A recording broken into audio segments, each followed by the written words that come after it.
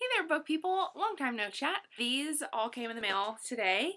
I recently fell in love with this book website called alibris.com, and it is a site that I use actually for work a lot because they have a little bit of everything, but they are especially strong in obscure or old and rare art history books. Think exhibition catalogs for shows at tiny museums 70 years ago. Using the site frequently, I learned that they also have a great stash of 99 cent books.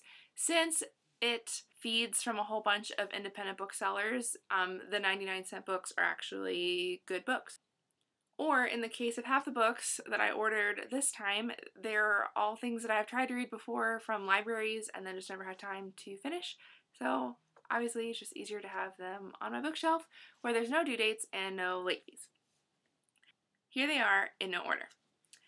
The first one is Rosemary Mahoney's Whoredom in Kimmage.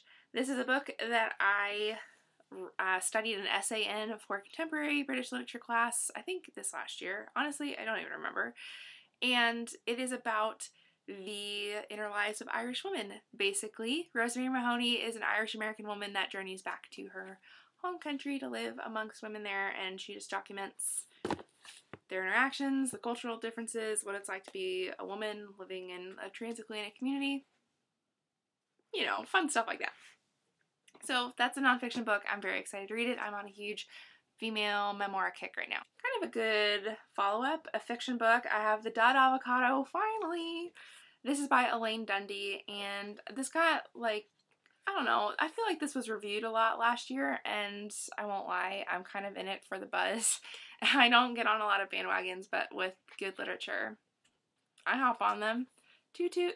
So this is, from what I, I don't know, the fact compared to Edith Wharton, who you may or may not like, and I don't dislike Edith Wharton, so it's short and again, some interesting people have had some interesting things to say about it, so I'll make my own decision soon.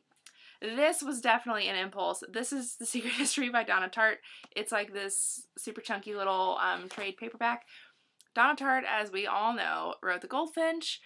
And here's the thing, I bought this even though I was extremely underwhelmed by The Goldfinch. Uh, short version, the Goldfinch is a 900 page book, about 400 pages of which is drug induced delirium. So, I don't know, beautiful writing, I mean, a really well written drug induced delirium, but I don't know what my expectations are for this, but I couldn't resist because I loved and hated the Goldfinch so much, and I can't deny that she is a skillful writer. This is about a group of students that are at a prep school. It, I started this from the library once upon a time on my Kindle, and the vibe I got was like kind of a dark Dead Poet Society, but remains to be seen. Okay, to speed this up, we also have um, an old favorite of mine. Jesse Ball is one of my all-time favorite authors. He has not written a whole lot, but he was the first author that I really fell in love with, and that reminded me why I did contemporary literature.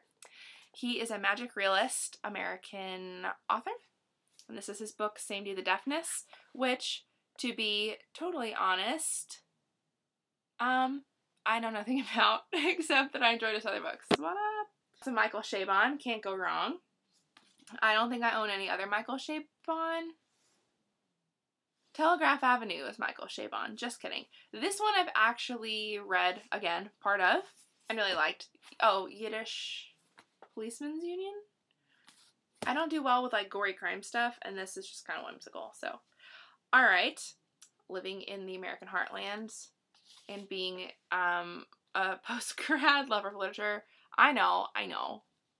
Roll your eyes if you must, if you're snobby. Um, but I am digging into some Jonathan Franzen. Um, I've picked up and put down Freedom a bunch of times. There's just something about it that seems, I don't know, snarky to me. But what do I know? I haven't read Franzen yet. So we're going to read this one. It's about a family, multi generational family. Everyone's moving and shaking and changing and aging and what have you. I won't lie, I'm pretty pumped. Last but not least, this book is so weird. It's like too good to be true. It totally is. I saw this at um, an indie bookstore in St. Louis like five years ago, and I put it down, and then I could never find it again. Thank you, alibris.com.